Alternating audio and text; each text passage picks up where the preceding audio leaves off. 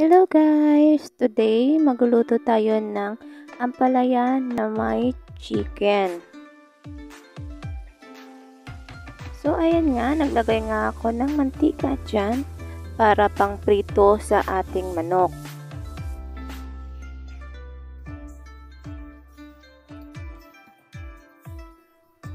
Ayun na nga, inilagay ko na nga yung manok na hiniwa ko ng maliliit uh, sahog style siya mga guys. Ang gamit ko palang mantika dyan guys is use oil. So ayun nga, kapag nailagay na ang mga pangsahog, so ayan haluin hanggang ito ay maging light brown.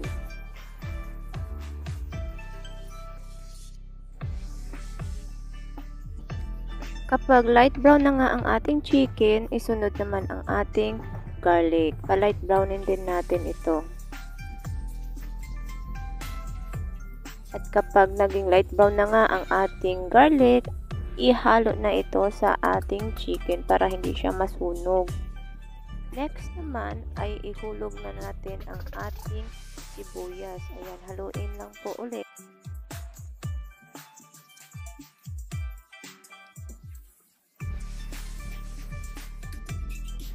Isunod naman ang ating kamatis. Ayan, haluin uli para um, lumambot yung ating sibuyas at para magkalasa din ang ating karne.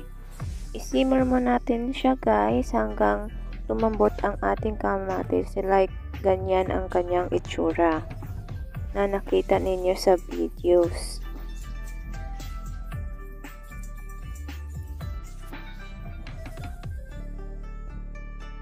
Na isunod naman natin ang ating um, ampalaya.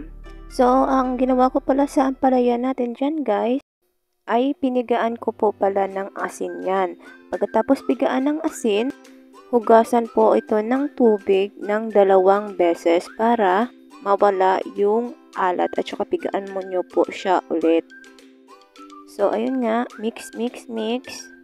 Simmer din ito guys ng mga dalawang minuto sa mahinang apoy lang po.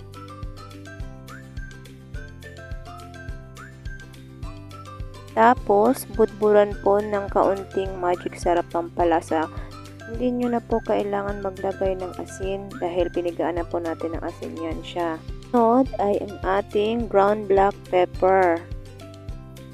So, ayan, kapag nailagay na lahat ng spices, Haluin natin kapag nalagay na lahat ng spices dito sa ating niloto.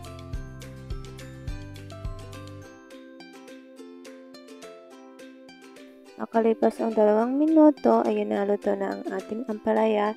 Serve na po ito. Ito na ang ating ampalaya tomato with chicken.